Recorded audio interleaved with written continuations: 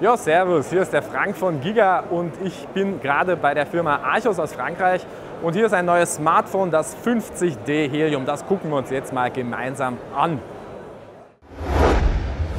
Ja, Archos äh, beehrt uns ja auf praktisch jeder Messe mit neuen Geräten, äh, mit einem Schwung neuer Geräte. Das ist eins davon. Das 50D Helium ja, kann man im Prinzip zusammenfassen wie ähm, ein Moto G, neuester Bauart, nur von einem anderen Hersteller und ein bisschen günstiger. Das 50D Helium hat nämlich ein UVP von 149 Euro und dafür kriegt man dann doch einiges geboten. Also wir haben hier erstmal ein 5 Zoll in der Diagonale messendes IPS-Display an der Front, das gesäumt ist von unten kapazitiven Buttons. Wird immer seltener, hier sieht man es nochmal.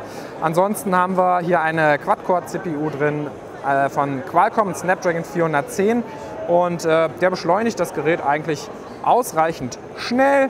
Wir gucken es uns mal von allen Seiten an. Also hier auf der rechten Seite haben wir hier unten den Power-Button. Hier ist die Lautstärke-Wippe.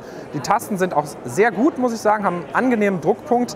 Auf der Oberseite hier ist der Micro-USB-Port, hier ist der Headphone-Jack.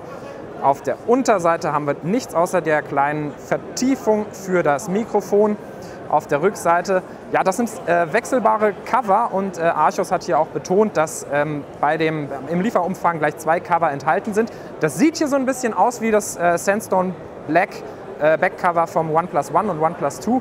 Das fühlt sich aber ein bisschen anders an. Das ist nicht so rau, das ist so, fühlt sich fast ein bisschen gummiert an. Finde ich persönlich haptisch ziemlich gut, weil äh, man sieht hier keine Fingerabdrücke und das ist auch keine Nagelfeile in dem Sinne. Ähm, an sich also wirklich so vom Design her gar nicht so schlecht. Okay, die Bezel hier an der Seite sind ein bisschen dick. Dafür hat man hier auch so ein etwas aufgesetzt wirkendes ähm, oder ein aufgesetztes Display. Gorilla Glass ist da drauf. Und ja, ansonsten technische Daten, 8 GB interner Speicher plus MicroSD-Slot und Dual-SIM. Das ist allerdings kein kombinierter Dual-SIM-Slot, wie man ihn äh, auch jetzt momentan immer häufiger sieht, sondern man kann zusätzlich zu zwei SIM-Karten auch noch eine Micro-SD-Karte einlegen. Ansonsten haben wir hier 4G drin, also LTE-Konnektivität, eine 5 Megapixel Frontkamera, auf der Rückseite 13 Megapixel. Das wird vermutlich so ein Standard-Sony-Sensor sein. Optische Bildstabilisierung darf man in der Preisklasse nicht erwarten, ist ja auch nicht drin. Und der Akku äh, hat eine Kapazität von 2100 mAh. Also gerade zum Preis von knapp 150 Euro hier so ein Dual-SIM-fähiges LTE-Gerät zu haben mit äh, insgesamt ja doch relativ brauchbaren Specs, das ist keine schlechte Sache. Archos bleibt also seinem Ruf treu, will ich meinen. Wir gucken hier nochmal schnell in die Android-Version. Das ist ja Android 5.1, also noch nicht 5.1.1, also noch nicht die allerneueste Version. Aber man hat uns hier gesagt, naja, Update-Pläne gibt es natürlich immer.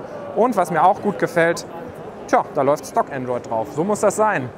Das ist das Archos 50D Helium. Ich bin Frank von Giga. Wir sehen uns beim nächsten Video. Ciao.